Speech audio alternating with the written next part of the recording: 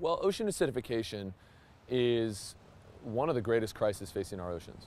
When you think that, you know, over a billion people every year rely on uh, seafood as their primary source of protein, people that can't make another choice and go to the supermarket and buy something else, when you think that uh, um, whole food chains, economies in this country, even in the United States, uh, billions of dollars rely on fisheries, ocean acidification threatens the very basic food chains of our oceans.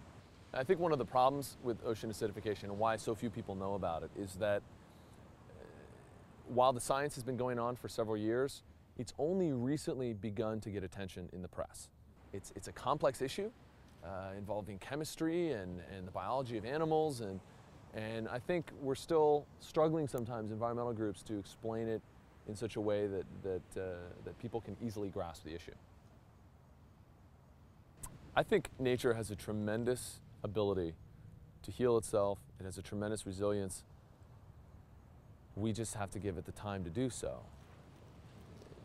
You know, when it comes to ocean conservation, we've seen, for example, when we've established marine protected areas, effective ones that have been, that have been uh, uh, in, enforced, we see the fish population come back. We see the, the, the ecosystem becoming healthier after a few years.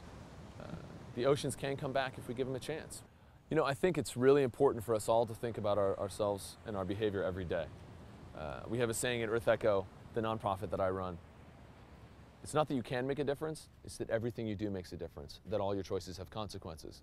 And so whether or not you live at the beach, you know, the average piece of food travels 1,200 miles in this country.